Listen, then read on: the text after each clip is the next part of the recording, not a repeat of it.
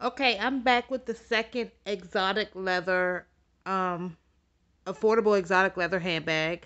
This is the pink 25, and as you can see, this is a ombre lizard in a 40 centimeter size. So it's 15.5 inches long, 12 inches high, and 8 inches wide. So this bag came from the brand Glamour Exotic. I checked their Etsy page and they're on break right now. But uh, this bag was 408 and it's the same thing. You pay half when you place your order and half before it's delivered. You choose the hardware. I chose gold. You choose the finish of your skin if you want it shiny or you want it matte. This one has a sheen to it even though you can't tell. It's slightly shiny. If you want the side strap, if you want a shoulder strap or not, I chose no. This is the tummy of the monitor lizard. You can choose between the tummy or the back.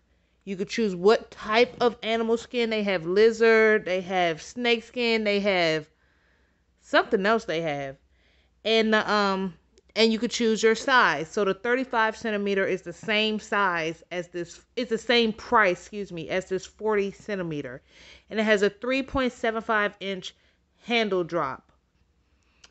Yep, so it has a functioning lock and key, just like the other one. And the only thing I really don't like about this bag is that they did not use gold hardware for the feet. I thought that was a given, but apparently not.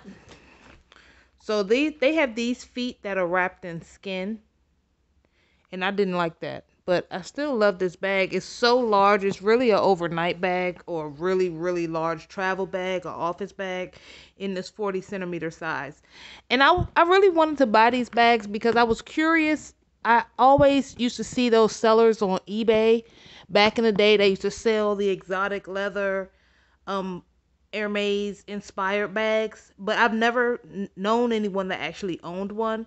And also, I wanted the experience of owning an exotic leather handbag, which is what motivated me to buy both of these bags. So, I have learned that even exotic leathers do patina. So, you do want to wrap twillies around them around the straps when you get them. Because exotic leathers do in fact patina. The handles do. And this bag i just used to store a bunch it's so large so i really hardly use it. But when i have it in the house i just put a bunch of SLGs in it. That's all i use it for. Ugh. yep it's a bag that holds other bags. So in the inside excuse me in the inside is black microfiber material. Has two pockets and one large zipper pocket. And that's it for this bag, really. It was a little wrinkled when I got it because it's so large. They